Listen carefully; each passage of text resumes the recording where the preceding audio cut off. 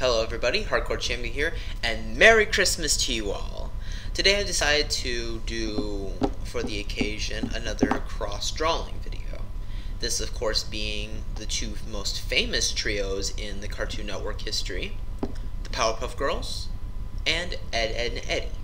By the way, Watch Mojo, if you're watching, as much as I love Ed, Edd and Eddy, why would you put them on the list and only put the Powerpuff Girls as an honorable mention in your top 10 best, most, most uh, iconic trios?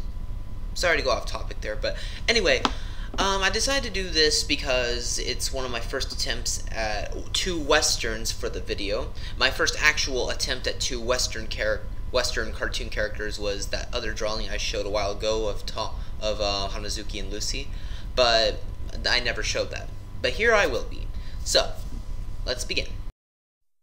そ